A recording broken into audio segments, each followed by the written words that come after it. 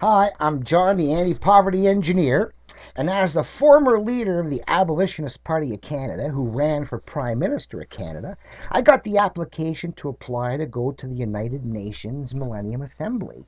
And at the same time, I asked if I could make a speech on extending the LETS local employment trading system to the whole world as a UNILETS, a United Nations international and local employment trading system.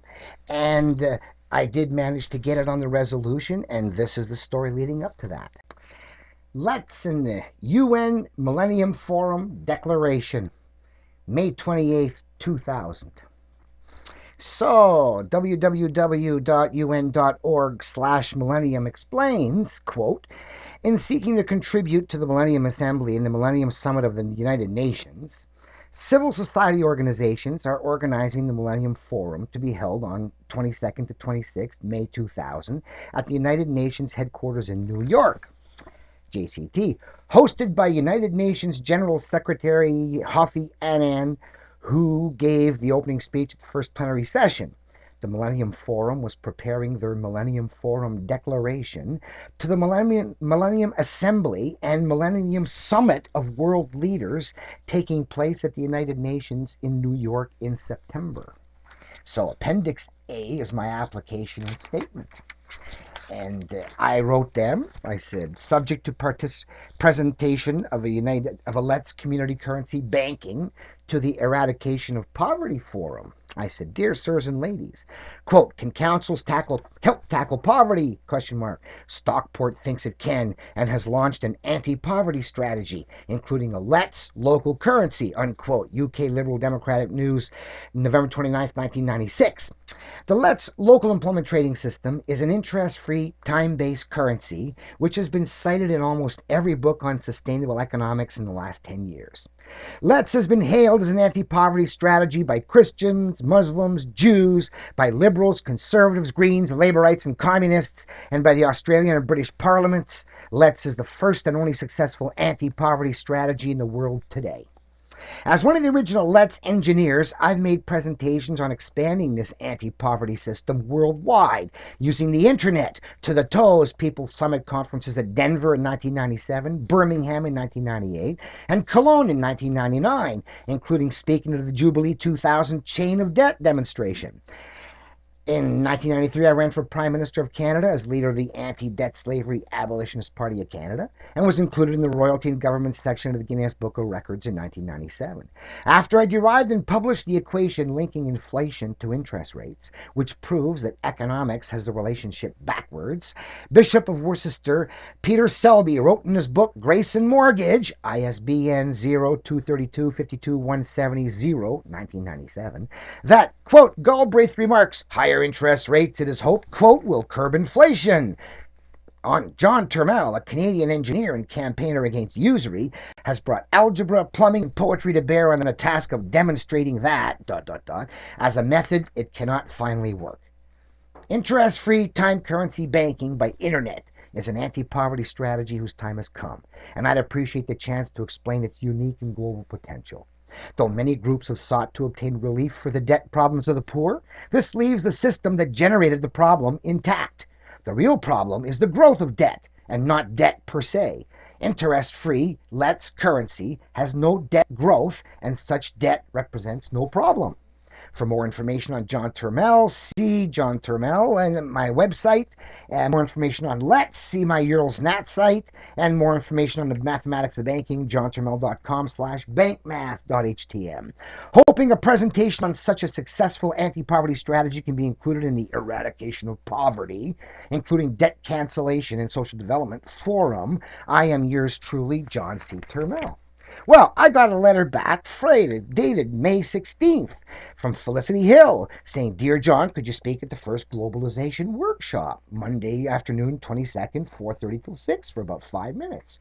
Globalization, people-centered economics. I stress five minutes, no more. Best wishes, Felicity Hill. Director of the Women's International League for Peace and Freedom, United Nations office at UN Plaza. So I said, I hope to eventually have time to write a report on these adventures in engineering LETS at the UN. But I got three more conferences coming up in the next two weeks where I'm going to keep pushing for UNILETs, where authorities run an international LETs for us. And speak with local currency groups in the area while there. There's too much time needed on the war to kill interest, and there's not enough time to report on the battles.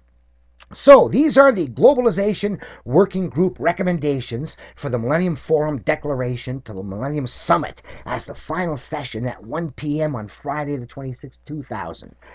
Quote, facing the challenges of globalization, equity, justice, diversity. Section 5, what the UN must do. 5.8, promote financing for development. So the UN should establish a new debt arbitration process, blah, blah, blah, blah, blah, blah. But another idea of study should be the UNILETS, United Nations International and Local Employment Trading System. 5.9, consider the Tobin tax which is basically a tax on the rich splashing in the pool. No effect on the growth of debt in the pump house. But at the end, it says the abolition, of the eradication of interest is an essential component pursuing sustainable human development.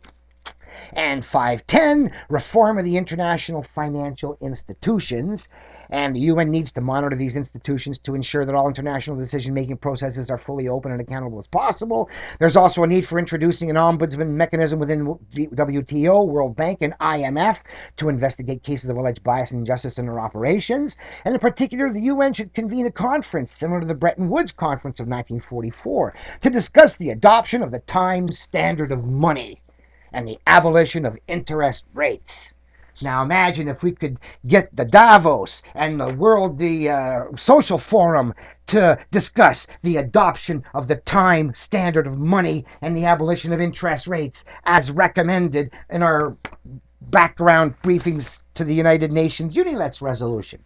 So I say UNILETS is now to be recommended to Millennium Forum Declaration to the Millennium Summit leaders, thanks to many local currency supporters and even LET system members who popped up in key positions during the conference. From a Letzer from Amsterdam taking it up to everyone for days, to the Global Resource Bank Letzer who always helped convincing the skeptical, to the wonderful Australian lass on the Globalization Drafting Committee, the clerk who'd belonged to not only one LETS, but then a second after moving, and finally a third as she moves to Melbourne, Australia, where they have a big LETS, to the Iron Willed Committee chairwoman who insisted LETS get in because it was doing something to help the poor people right now and should be extended to the whole world right now. She was great. She gave me every opportunity to speak, and I found friendlies from many large databases who see the advantages of a time standard of currency that they can set up right now for their members. One man with a 100K database made a key intervention pointing out that Buckminster Fuller had advocated energy based money and letting me point out that manpower times time equals energy. I met other big databases now dreaming of coming online. A 12,000 member commercial barter system has contacted me about adopting the time standard for employment trading between their merchants and our underemployed people. There's only one cloud on the horizon. Though our recommendations have been submitted to the UN, the recommendations still haven't been published at the website. But if the bankers do have secret intelligence agents operating the UN communications controls, they must be having nightmares trying to find ways to censor all these related banking systems engineering recommendations from the big Millennium Forum Declaration to all the world leaders. Stay tuned at their website, un.org slash millennium, to see if they try to alter or delete or censor the recommendations made by the Globalization Working Group for the Millennium Forum Declaration to the Millennium Summit of World Leaders on the recommendations that one, the UN operate UNILETs using two, the time standard of money, with the three, abolition of interest rate debt slavery. I'll try to post reports when I get time, but so much was done by so few to get LETS on the global agenda that I can only wonder at what could be accomplished if all the thousands who are reading this sent a letter right now to the governments within their area asking them to endorse these banking systems engineering recommendations vouched for by the Guinness World Record Banking Systems Engineer. If we ever had a chance to end poverty by the abolition of interest worldwide, the opportunity has presented itself. We need more warriors and less spectators in these final days, leading to the upgrade of the world's banking system's engineering. The time to strike for freedom from debt growth is right now. Unilets is the world's salvation, and it arrives in time to focus maximum industrial power to ecological survival. Just imagine if all machinery was working three shifts a day, full time, instead of being laid off because they ain't got enough money to have three shifts going. Get your politicians to endorse the 1 p.m. Friday 26th Globalization Workshop Group Recommendations for the Millennium Forum Declaration to the Millennium Summit. 5 8. Promote financing for development. 5 9. Consider the Tobin tax. 5 10. Reform the international financial institutions.